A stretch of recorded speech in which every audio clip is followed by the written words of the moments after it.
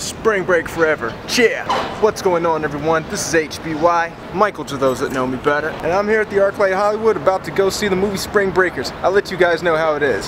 Yeah! Oh my god, that was a dark, dark, dark movie, but it was really well done. Let me preface this review beforehand with two things. One, I'm going to try to keep things spoiler free, and two, before Spring Breakers, I had never actually seen anything that Harmony Korine wrote or directed. Gummo looked too freaky to me, and I don't think I'll ever be mature enough to watch the movie Kids. But Harmony Korine did a really good job at writing and directing Spring Breakers. If you're not familiar with the plot to Spring Breakers, it goes a little something like this. It's about these four college girls, Faith, Candy, Britt, and Cotty, played by Selena Gomez, Vanessa Hudgens, Ashley Benson, and Rachel Korine respectively, who all want to get out of their small, boring Florida town and migrate down to St. Peter's for spring break. In the process, the girls rob a restaurant to fund their spring break vacation, end up in jail, who then get bailed out by a rapper slash drugs and arms dealer by the name of Alien, who then hires the girls to do some dirty work for him. And if you've paid attention to the paparazzi photos and all the behind the scenes featurettes over the course of the last year, you'll know that this character Alien is played as a sort of Riff Raff and Dangeruss hybrid by James Franco. And James Franco definitely did not dial in his performance as Alien. But you also have a supporting cast with people as random as Heather Morris from Glee, to former WCW champion Jeff Jarrett, the ATL twins, and Gucci Mane as a rival drug dealer named Archie. I really like Spring Breakers, but just know going into this movie that this film does not have a linear narrative to it. There's quite a few scenes where the footage and dialogue repeat kind of like the chorus to a pop song, and this technique also leads to a lot of foreshadowing throughout the course of the movie. There's also quite a bit of juxtaposition going on in Spring Breakers, where you have the imagery of My Little Pony and a couple of Britney Spears songs placed over some of the more darker moments in the film. I definitely thought Selena Gomez, Vanessa Hudgens, and Ashley Benson were all really good in Spring Breakers. And actually Rachel Korine was really good too. Keep an eye out for her. And also the soundtrack for this movie is really on point. For the first half of Spring Breakers, the score is mostly Skrillex songs. And it matches up really well with the glamorous debauchery of these girls' spring break experience. But after Alien bails out the girls and things start to get a little bit darker, the soundtrack changes up to instrumentals made by Lex Luger. You also get that feeling of there being two different halves to the movie when you see James Franco's performance as Alien. There's a few moments where James Franco plays the character of Alien as a very chilling and dark figure. Definitely watch out for this one scene in the movie with James Franco and Selena Gomez that might just make your skin crawl just a little bit. But there's also a few moments in the film where James Franco's actually really hilarious as Alien. Think of those scenes as basically the funniest Riff Raff interviews you've ever seen, but heightened.